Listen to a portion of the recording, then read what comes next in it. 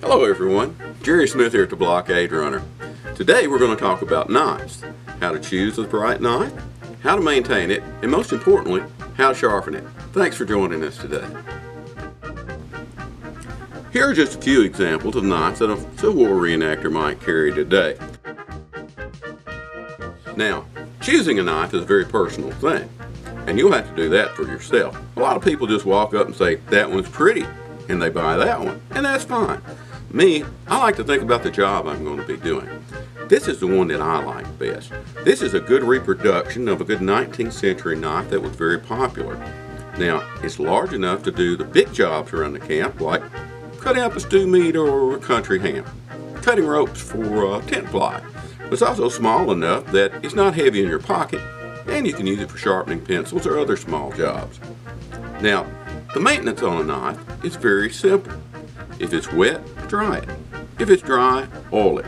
And if it's dull, sharpen it. And that's where we're going to be spending most of our focus today on how to sharpen your knife.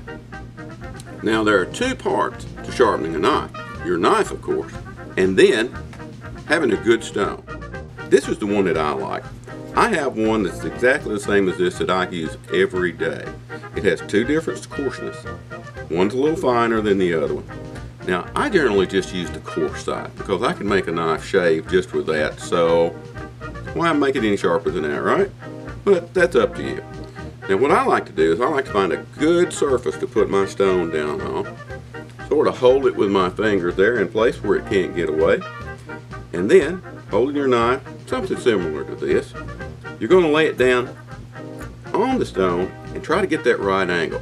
You know, that's the key, is getting it at the right angle. And what that's all about is the angle that you hold your knife in relationship to the stone. If you hold your knife too much of an angle, that's never going to sharpen. Too little of an angle, same thing. You want to hold it in that sweet spot, which is just around 22 degrees. Now, a good way to figure this out will be when your knife gets a little bit older and the blade turns a little darker you'll be able to see a shiny spot along the edge as you sharpen it. Now, if the shiny spot's too far back, that means you're holding it at too low of an angle. If you don't see a shiny spot, or it's just along the edge, that's too steep. You're going to have to lay it back down a little bit. But practice is how you're going to get good, just like anything else. When you lay that knife down and you get that angle where you're happy with it, draw it back towards you turn it over, and then going away from you, try to hold a similar angle. Back and forth.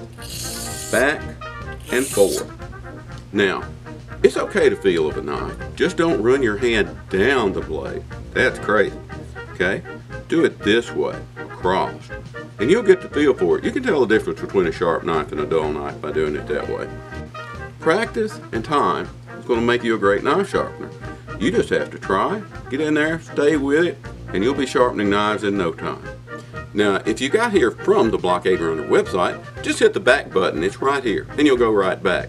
If you didn't, you should go. www.blockaderunner.com. Thanks for joining us today.